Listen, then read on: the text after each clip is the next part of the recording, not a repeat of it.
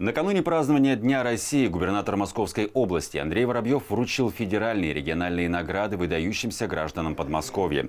Среди них главный врач Московского областного центра охраны материнства и детства Татьяна Мельник. Ей вручена почетная грамота президента России за вклад в борьбу с коронавирусной инфекцией, самоотверженность и высокий профессионализм, проявленный при исполнении врачебного долга. В прошлом году наша больница детская, мы не работали в красной зоне, но тем не менее, с учетом того, что у нас единственное в Московской области отделение ожоговой помощи, ожоговой травмы, отделение детской нейрохирургии, отделение урологии, отделение травматологии, к нам очень часто привозили детей, потому что их, в общем-то, больше некуда было вести. Мы единственная больница, которая оказывает эту помощь всем детям Московской области. Поэтому, конечно, к нам попадали дети, которые были больны коронавирусом.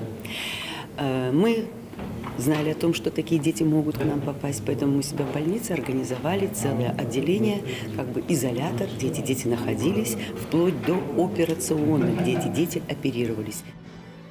Медалью за заслуги перед Отечеством второй степени награжден скульптор, заслуженный художник России Александр Рожников.